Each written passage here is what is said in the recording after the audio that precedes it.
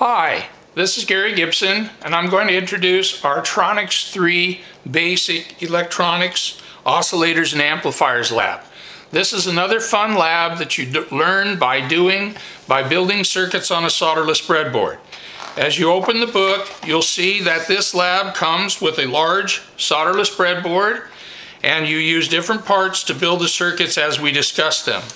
You open up to the inside of the manual and you will notice that it has the complete inventory here of your speakers, your switches and so forth and parts and transformer and etc. Okay, then you notice that there are five lessons here. One goes into vacuum tubes and transistors. Another one goes into transistors as amplifiers. Then we talk about audio amplifying systems, transistors and amplifiers, and oscillator applications. So turning the page, our first lesson has to do with regulating electric current with vacuum tubes and transistors. So we go through the discussion here about where those circuits are used and we continue on. We talk about amplifiers with a crystal microphone and an amplifier in your power source and we discuss how that was done with tubes the vacuum tubes are still in use today, so we do cover that theory, and we cover it a bit here so that you understand what's going on there.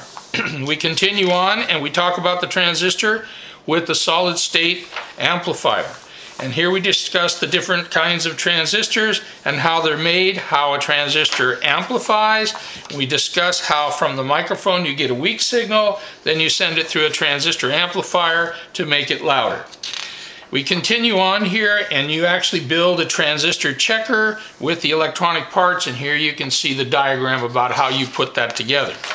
The next lesson as we come along is lesson two, transistors as amplifiers. We discuss some of the basic transistors that are out there. We even go into a bit about how they're made, how they're put together, and some of the theory about how the transistors are worked and how they are assembled and we discussed the different transistors.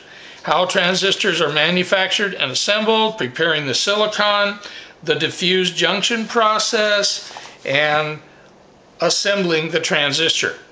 Then we talk about the transistor checker, the transistor light meter, the audio amplifier, and we have things that you fill in here as you go along to make sure that you're understanding.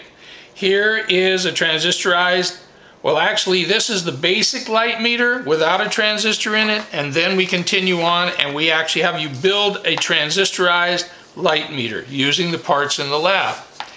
So we continue on here and lesson number three, audio amplifying systems. We talk about the system overview, the audio reproduction system.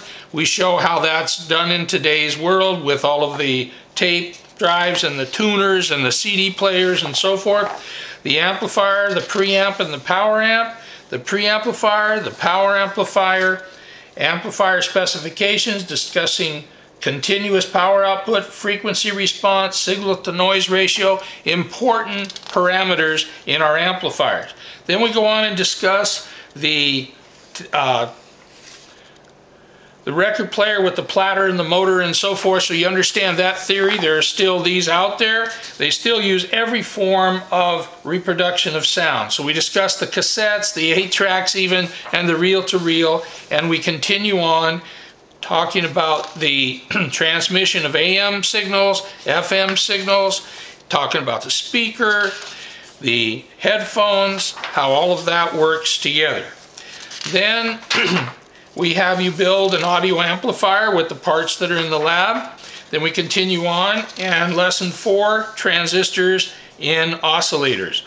What are oscillators? And we discuss those and they're used throughout all the music industry. Every time you hear any music, you are listening to oscillators and here are the different kinds.